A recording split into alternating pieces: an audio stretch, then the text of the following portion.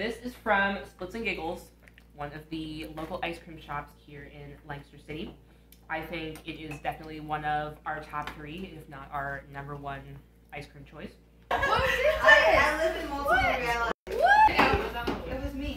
Because your little bread, I've been slicing really tiny, thin, and but a bunch of little pieces of your little bread, put in a little peanut butter, and then just it needs just one swipe of jelly, and that's it. It was a really good time. Girl, what? We.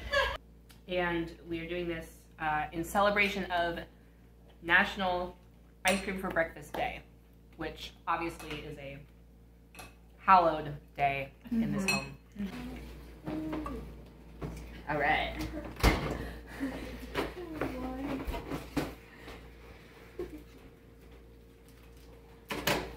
Yes! Wow.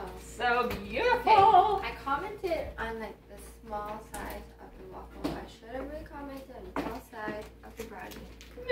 But That's okay. it will suffice. I think when you get breakfast ice cream at home, then you do whatever you want also from your house. It's not limited to what they give you. So I'm gonna put roasted peanuts on top of my ice cream.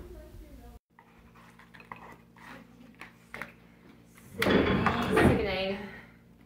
I want a little spoon. Peanut. I have a little one. I got, oh my god, what was it? Salted caramel bacon. So it's salted caramel ice cream, some apples, um, and then some candied bacon, and then I made my own peanuts to go on top. That is actual bacon. I'm putting meat on my sundae. I'll see how it goes. Trying out a little bit at first.